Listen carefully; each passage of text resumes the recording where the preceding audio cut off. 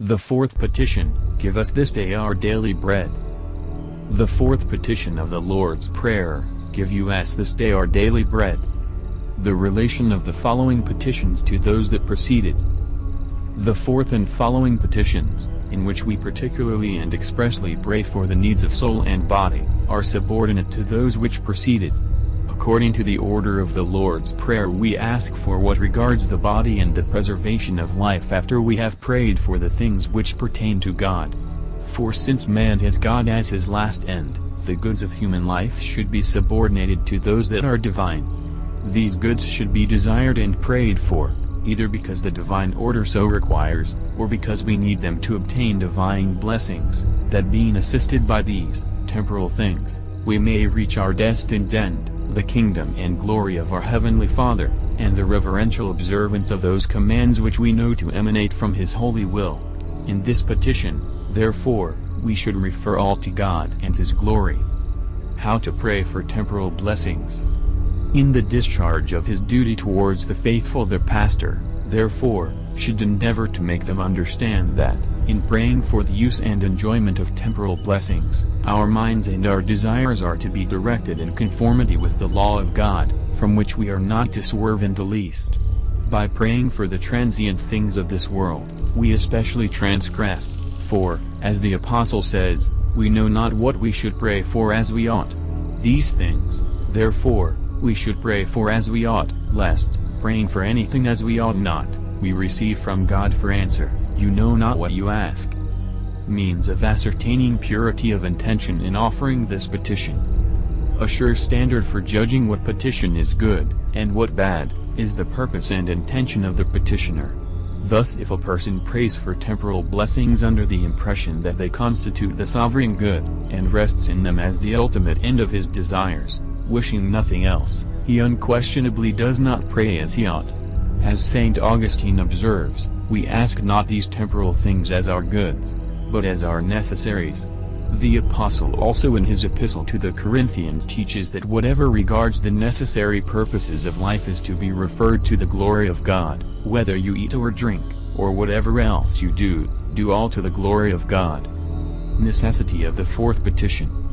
In order that the faithful may see the importance of this petition, the pastor should remind them how much we stand in need of external things, in order to support and maintain life, and this they will the more easily understand, if he compares the wants of our first parent with those of his posterity.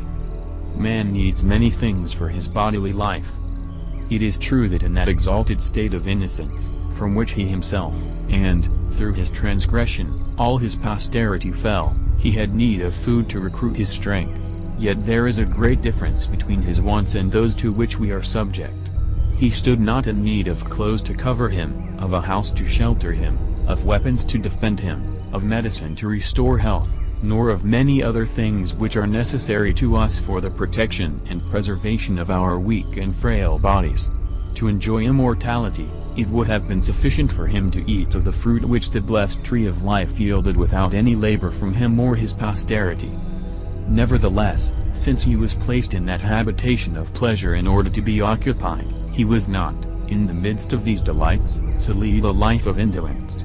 But to him no employment would have been troublesome, no duty unpleasant. From the cultivation of those beautiful gardens he would always have derived fruits the most delicious, and his labors and hopes would never have been frustrated. To supply his bodily wants man must labor. His posterity, on the contrary, are not only deprived of the fruit of the tree of life, but also condemned to this dreadful sentence, Cursed is the earth in thy work, with laboring toil shalt thou eat thereof all the days of thy life, thorns and thistles shall it bring forth to thee, and thou shalt eat the herbs of the earth. In the sweat of thy face shalt thou eat bread, till thou return to the earth, out of which thou wast taken, for dust thou art, and into dust thou shalt return. Without God's help man's labor is vain. Our condition, therefore, is entirely different from what his end and of his posterity would have been, had Adam listened to the voice of God. All things have been thrown into disorder, and have changed sadly for the worse. Of the resultant evils, this is not the least, that the heaviest cost, and labor, and toil, are frequently expended in vain. either because the crops are unproductive, or because the fruits of the earth are smothered by noxious weeds that spring up about them, or perish wind-stricken and prostrated by heavy rains, storms, hail, blight or blast. Thus is the entire labor of the year quickly reduced to nothing by some calamity of air or soil, inflicted in punishment of our crimes, which provoke the wrath of God and prevent him from blessing our efforts. The dreadful sentence pronounced against us in the beginning remains. Pastors, therefore, should apply themselves earnestly to the treatment of this subject, in order that the faithful may know that men fall into these perplexities and miseries through their own fault, that they may understand that while they must sweat and toil to procure the necessaries of life, unless God bless their labors, their hope must prove fallacious, and all their exertions unavailing. For neither he that planteth is anything, nor he that watereth but God who giveth the increase, unless the Lord build the house, they labor in vain that build it. Inducements to use this petition.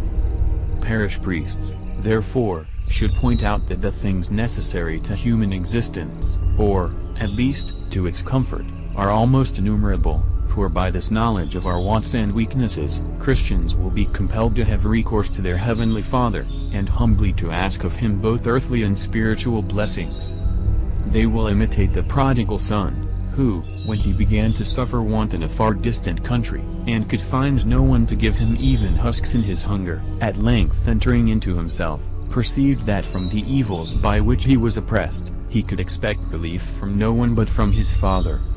Here the faithful will also have recourse more confidently to prayer, if, in reflecting on the goodness of God, they recollect that his paternal ears are ever open to the cries of his children.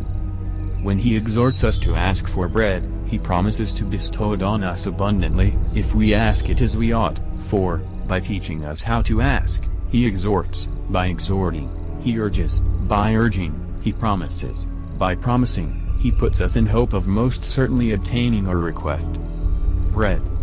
When, therefore, the faithful are thus animated and encouraged, the pastor, should next proceed to declare the objects of this petition, and first, what that bread is which we ask.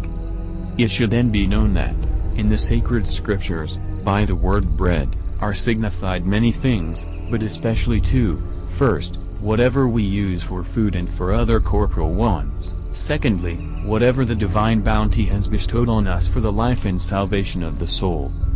We ask for temporal blessings. In this petition, then, according to the interpretation and authority of the Holy Fathers, we ask those helps of which we stand in need in this life on earth. It is lawful to pray for temporal blessings. Those, therefore, who say that it is unlawful for Christians to ask from God the earthly goods of this life, are by no means to be listened to, for not only the unanimous teaching of the Fathers, but also very many examples, both in the Old and New Testaments, are opposed to this error. Thus Jacob, making a vow, prayed as follows, If God shall be with me, and shall keep me in the way, by which I walk, and shall give me bread to eat, and raiment to put on, and I shall return prosperously to my father's house, the Lord shall be my God, and this stone, which I have set up for a title, shall be called the house of God, and of all things thou shalt give to me, I will offer up tithes to thee. Solomon also asked a certain means of subsistence in this life, when he prayed, Give me neither beggary nor riches, give me only the necessaries of life. Nay, the Savior of mankind himself commands us to pray for those things which no one will dare deny appertain to the benefit of the body. Pray, he says, that your flight be not in the winter, or on the Sabbath. St. James also says, Is any one of you sad? Let him pray. Is he cheerful in mind? Let him sing. And the apostle thus addressed himself to the Romans, I beseech you, brethren, through our Lord Jesus Christ, and by the charity of the Holy Ghost, that you assist me in your prayers for me to God, that hell may be delivered from the unbelievers that are in Judea. As, then, the faithful are divinely permitted to ask these temporal succors, and as this perfect form of prayer was given us by Christ the Lord, there remains no doubt that such a request constitutes one of the seven petitions. The wants, not the luxuries of this life are meant by the word bread. We also ask our daily bread, that is, the things necessary for sustenance, understanding by the word bread, what is sufficient for raiment and for food, whether that food be bread, or flesh, or fish, or anything else. In this sense we find Elias to have used the word when admonishing the king to provide bread for the Assyrian soldiers, to whom was then given a large quantity of various kinds of food. We also know that of Christ the Lord it is written, that he went into the house of a certain prince of the Pharisees on the Sabbath day to eat bread, by which words we see are signified the things that constitute food and drink. To comprehend the full signification of this petition, it is, moreover, to be observed that by this word bread ought not to be understood an abundant and exquisite profusion of food and clothing, but what is necessary and simple, as the Apostle has written, having food and wherewith to be covered. With these we are content, and Solomon, as said above, give me only the necessaries of life. Our. Of this frugality and moderation we are admonished in the next word, for when we say our, we ask for bread sufficient to satisfy our necessities, not to gratify luxury. We do not say our in the sense that we are able of ourselves, and independently of God, to procure bread, for we read in David, All expect of thee that thou give them food in season, when thou givest to them they shall gather up, when thou openest thy hand they shall all be filled with good, and in another place, the eyes of all hope in thee, O Lord, and thou givest them meat in due season. We say our bread, then, because it is necessary for us and is given to us by God, the Father of all, who, by his providence, feeds all living creatures. It is also called our bread for this reason, that it is to be acquired by us lawfully, not by injustice, fraud or theft. What we procure in evil ways is not our own, but the property of another. Its acquisition or possession, or, at least, its loss, is generally calamitous, while, on the contrary, there is in the honest and laborious gains of good men peace and great happiness, according to these words of the prophet, For thou shalt eat the labors of thy hands, blessed art thou, and it shall be well with thee. Indeed to those who seek subsistence by honest labor, God promises the fruit of his kindness in the following passage, The Lord will send forth a blessing upon thy storehouses, and upon all the works of thy hands, and will bless thee. Not only do we beg of God to grant us to use, with the aid of His goodness, the fruit of our virtuous toil and that is truly called ours but we also pray for a good mind, that we may be able well and prudently to use what we have honestly acquired. Daily. By the word, daily, also is suggested the idea of frugality and moderation, to which we referred a short time ago, for we pray not for variety or delicacy of food, but for that which may satisfy the wants of nature. This should bring the blush of shame to those who, disdaining ordinary food and drink, look for the rarest viands and wines. Nor by this word daily are they less censured to whom Isaias holds out those awful threats, Woe to you that join house to house, and lay field to field, even to the end of the place, shall you alone dwell in the midst of the earth? Indeed the cupidity of such men is insatiable, and it is of them that Solomon has written, A covetous man shall not be satisfied with money. To them also applies the saying of the Apostle, They who would become rich fall into temptation, and into the snare of the devil. We also call it our daily bread, because we use it to recruit the vital power that is daily consumed by the natural heat of the system. Finally, another reason for the use of the word daily is the necessity of continually praying to God, in order that we may be kept in the practice of loving and serving Him, and that we may be thoroughly convinced of the fact that on Him depend our life and salvation. Give. With regard to the two words give us, what ample matter they supply for exhorting the faithful piously and holily to worship and revere the infinite power of God, in whose hands are all things, and to detest that abominable boast of Satan, to me all things are delivered, and to whom I will I give them, must be obvious to everyone. For it is by the sovereign will of God alone that all things are dispensed, and preserved, and increased. But what necessity, someone may say, is there imposed on the rich to pray for their daily bread, seeing that they abound in all things? They are under the necessity of praying thus, not that those things be given them which by the goodness of God they have in abundance, but that they may not lose their possessions.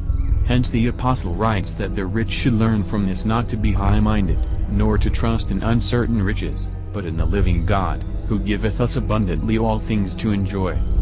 St. Chrysostom adduces as a reason for the necessity of this petition, not only that we may be supplied with food, but that we be supplied with it by the hand of the Lord, which imparts to our daily bread so wholesome and salutary an influence as to render the food profitable to the body, and the body subject to the soul. Us. But why say give us, in the plural number, and not give me? Because it is the duty of Christian charity that each individual be not solicitous for himself alone, but that he be also active in the cause of his neighbor, and that, while he attends to his own interests, he forget not the interests of others. Moreover, the gifts which are bestowed by God on anyone are given, not that he alone should possess them, or that he should live luxuriously in their enjoyment, but that he should impart his superfluities to others. For, as Saint Basil and Saint Ambrose say, it is the bread of the hungry that you withhold, it is the clothes of the naked that you lock up, that money you bury underground is the redemption, the freedom of the wretched. This day. The words this day remind us of our common infirmity.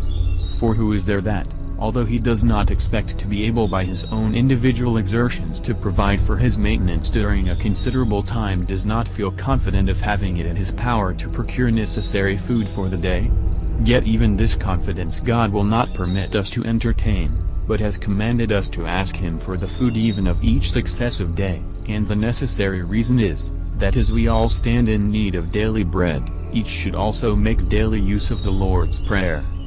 So far we have spoken of the bread which we eat and which nourishes and supports the body, which is common to believers and unbelievers, to pious and impious, and is bestowed on all by the admirable bounty of God, who maketh his sun to rise on the good and the bad, and raineth upon the just and the unjust. The spiritual bread asked for in this petition, it remains to speak of the spiritual bread which we also ask in this petition, by which are meant all things whatever that are required in this life for the health and safety of the spirit and soul. For as the food by which the body is nourished and supported is of various sorts, so is the food which preserves the life of the spirit and soul not of one kind. The Word of God is our spiritual bread. The Word of God is the food of the soul, as wisdom says, Come, eat my bread and drink the wine which I have mingled for you. And when God deprives men of the means of hearing his word, which he is wont to do when grievously provoked by our crimes, he is said to visit the human race with famine. For we thus read in Amos, I will send forth a famine into the land, not a famine of bread, or a thirst of water, but of hearing the word of the Lord. And as an incapability of taking food, or of retaining it when taken, is a sure sign of approaching death so is it a strong argument for their hopelessness of salvation, when men either seek not the word of God, or, having it, endure it not, but utter against God the impious cry, Depart from us, we desire not the knowledge of thy ways. This is the spiritual folly and mental blindness of those who, disregarding their lawful pastors, the Catholic bishops and priests, and, abandoning the Holy Roman Church, have transferred themselves to the direction of heretics that corrupt the Word of God. Christ is our spiritual bread, especially in the Holy Eucharist. Now Christ the Lord is that bread which is the food of the soul. I am, he says of himself, the living bread which came down from heaven. It is incredible with what pleasure and delight this bread fills devout souls, even when they must contend with earthly troubles and disasters. Of this we have an example in the Apostles, of whom it is written, They, indeed, went into the presence of the council rejoicing. The lives of the saints are full of similar examples, and of these inward joys of the good. God thus speaks, To him that overcometh, I will give the hidden manna. But Christ the Lord is especially our bread and the sacrament of the Eucharist, in which he is substantially contained.